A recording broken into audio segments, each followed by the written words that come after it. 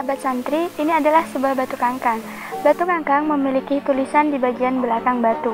Namun, tulisan itu tidak jelas karena usia batu yang sangat cukup tua.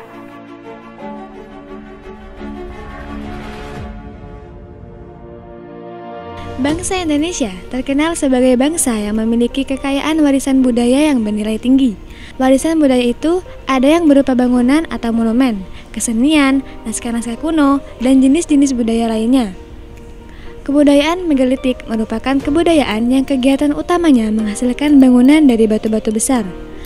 Penemuan benda-benda perbakala berupa artefak menjadi bukti bahwa Kabupaten Jember pernah menjadi lintasan sejarah manusia pada masa lalu dalam pengembaraannya mencari kehidupan layak dari masa ke masa, baik masa prasejarah sampai masa sejarah.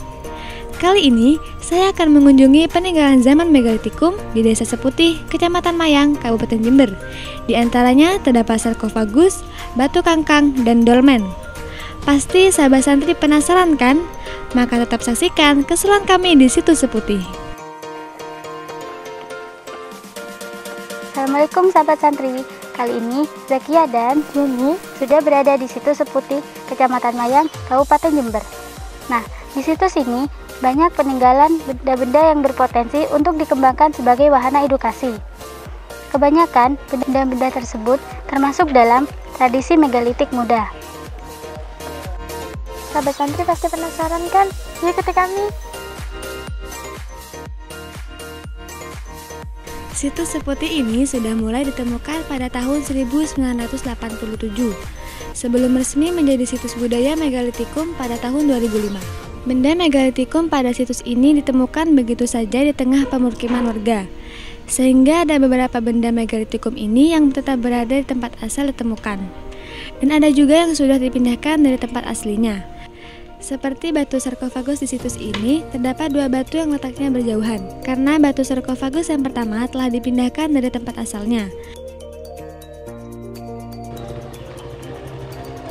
Nah, sahabat santri, Kali ini di sebelah saya sudah terdapat batu sarkofagus. Batu ini berfungsi sebagai tempat menyimpan jenazah dengan cara ditekuk. Dan sarkofagus ini berbentuk seperti palung. Palung tersebut ditutup dengan batu penutup. Sahabat cantik lagi penasaran kan? Ikuti kami.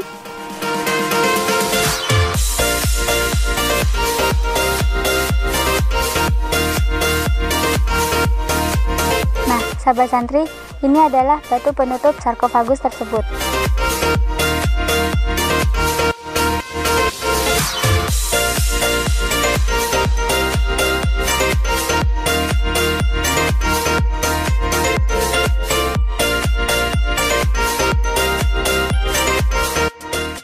Sedangkan batu kedua tetap diletakkan di lokasi pertama kali ditemukan. Itulah sebabnya, ketika kita mengunjungi situs seperti ini, kita akan menemukan benda-benda megalitikum di beberapa lokasi berbeda.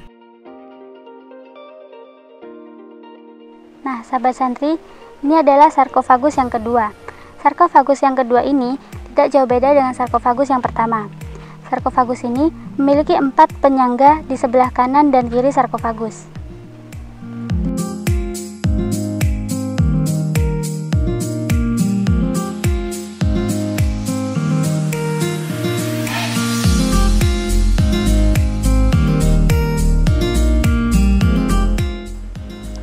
Sahabat santri, ini adalah penyangga sarkofagus yang kedua. Bedanya dengan sarkofagus yang pertama di bagian tutup. Bagian tutup sarkofagus kedua ialah berbentuk silinder.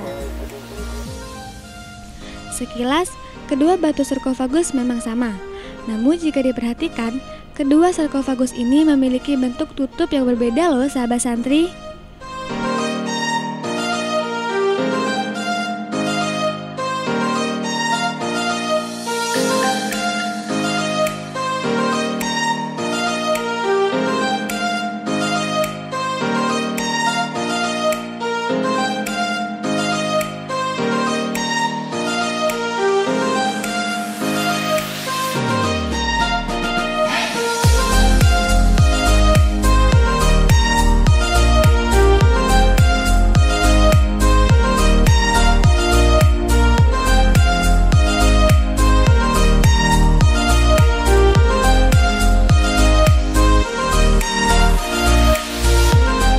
Benda megalitikum kedua yaitu batu kangkang.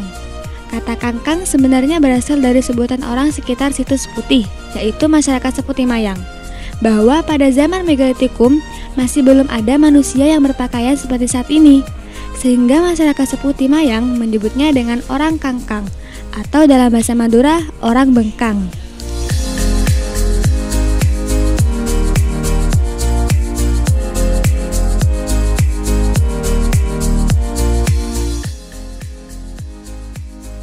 Sahabat santri, ini adalah sebuah batu kangkang. Batu kangkang memiliki tulisan di bagian belakang batu. Namun, tulisan itu tidak jelas karena usia batu yang sangat cukup tua. Nah, sahabat santri, yuk kita lihat tulisannya.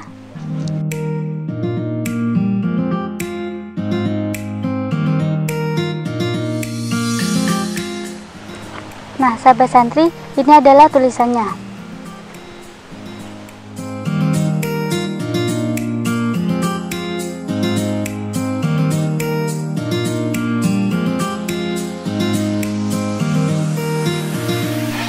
Sahabat santri, pada zaman Megalitikum, batu kangkang berfungsi sebagai tempat pertemuan orang-orang kangkang. Dibuktikan dengan adanya batu yang berbentuk kursi di sekeliling batu kangkang ini.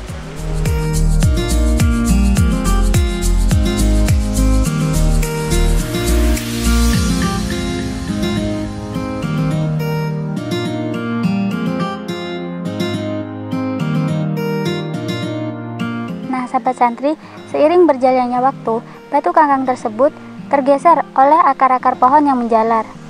Nah, sahabat santri bisa lihat sendiri kan, ini adalah penyangga batu kangkang tersebut.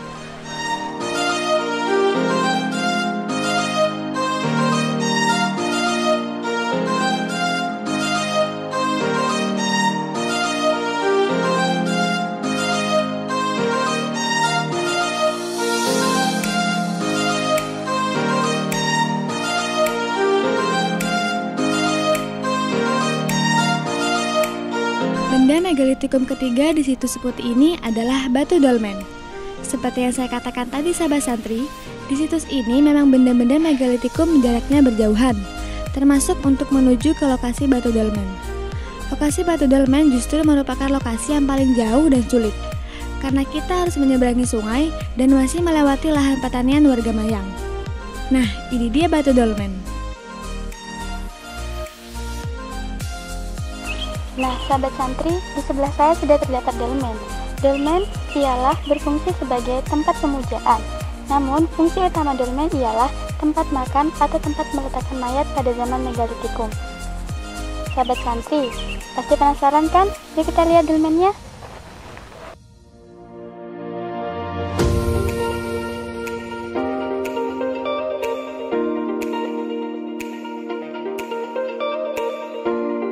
Nah, sahabat santri, dolmen ini tepat berada di sebelah mata air.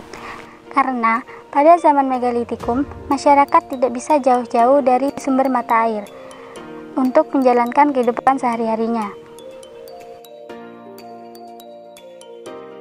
Sahabat santri, masih ingat kan dengan batu kangkang yang sebelumnya? Nah, sekilas batu dolmen yang ada di lokasi ini memang tak jauh berbeda dengan batu kangkang. Perbedaan kedua batu ini adalah fungsi batu dolmen dan batu kangkang yang berbeda. Batu kangkang berfungsi untuk tempat pertemuan orang kangkang pada zaman megalitikum, sedangkan batu dolmen untuk menaruh sesajian pada zaman megalitikum.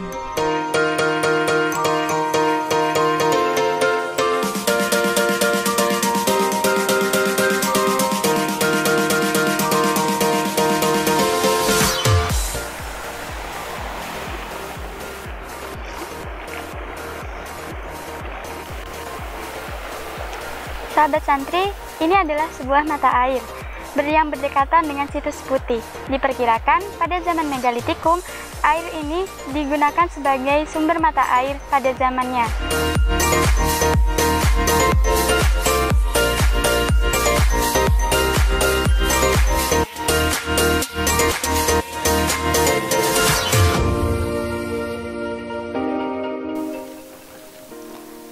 Sahabat santri, itulah tadi perjalanan kami di situs Seputih.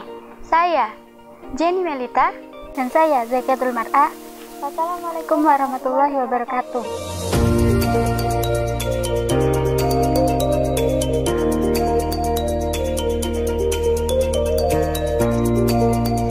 Dampak positif dari gerakan wisata edukasi prasejarah antara lain dapat menumbuhkan rasa cinta bangsa, negara, dan tanah air serta menambah pengetahuan tentang potensi sumber daya alam, sosial budaya, politik, dan ekonomi bagi para pelajar. Melalui wisata edukasi prasejarah, seorang pelajar dapat mengenal nilai-nilai luhur dan keragaman budaya Nusantara. Selain itu, wisata edukasi prasejarah juga dapat mendorong sinergi antara pemerintah dan masyarakat dalam menjaga dan melestarikan alam, lingkungan, dan warisan sosial budaya, serta dapat menumbuhkan pusat-pusat kegiatan sosial budaya di daerah yang memiliki potensi yang bernilai positif seperti di daerah Seputi.